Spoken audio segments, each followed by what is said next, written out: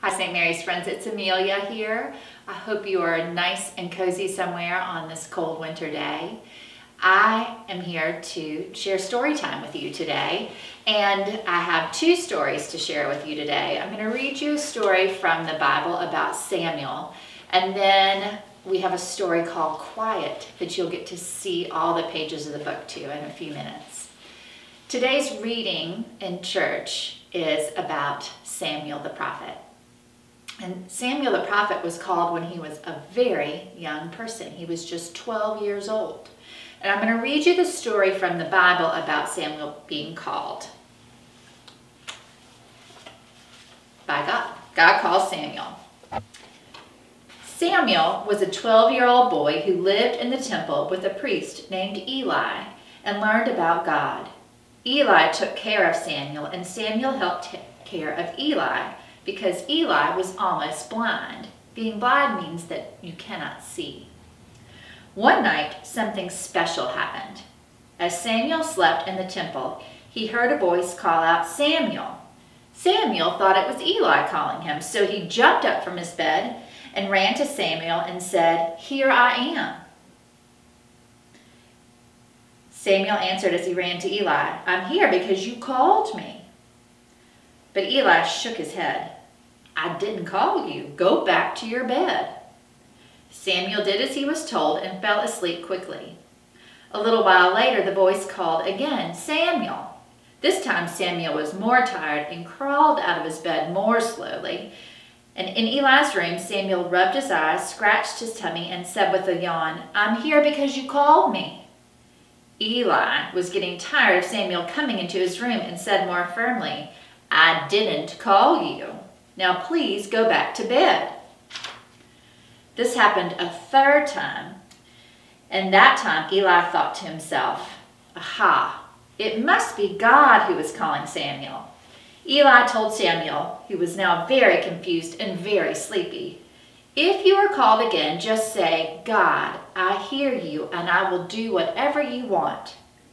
When the voice called again, Samuel did just as Eli had told him to.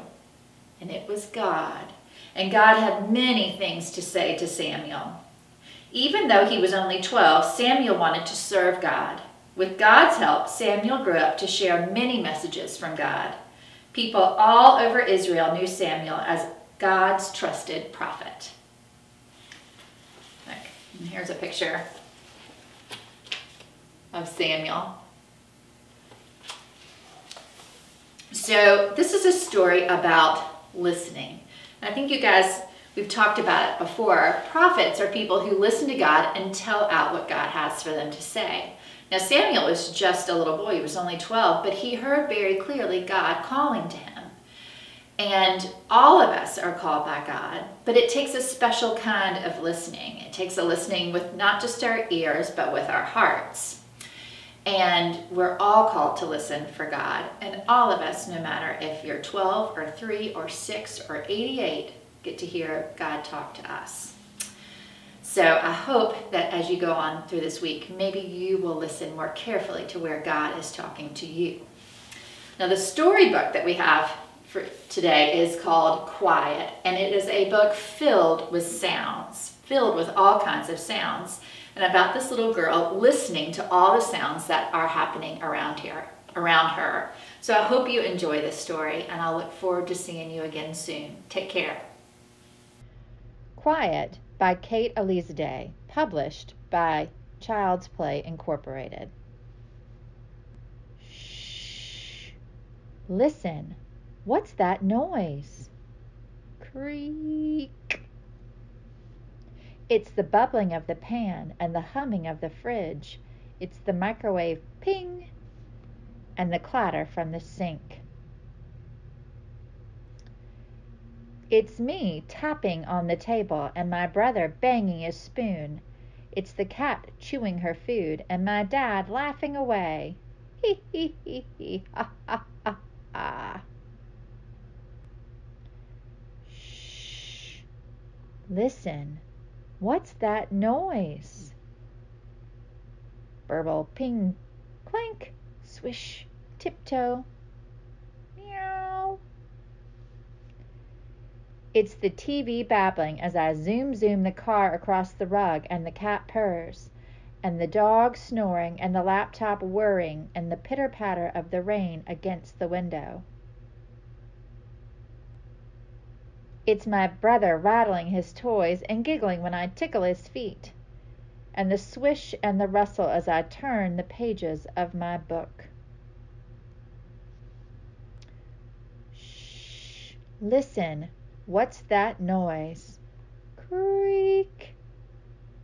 Drip. It's the water dripping from the taps and the splish splash of my bath and the squeak squeak of my rubber duck and the swoosh of the flush. It's the whirring of the hair dryer and the scrubbing of my toothbrush and the gurgle of the water down the sink. Shh, listen. What's that noise? Creak. Tick tock. Click. Click. It's the creak of the floorboards and the bed squeaking. It's the soft, hushed voice of my dad as he reads me a bedtime story, and his deep, quiet voice as he sings a lullaby. And the flip flop of his friendly feet as he clicks off the switch and blows me a good night kiss. Mwah. Shh. Listen. It's so quiet.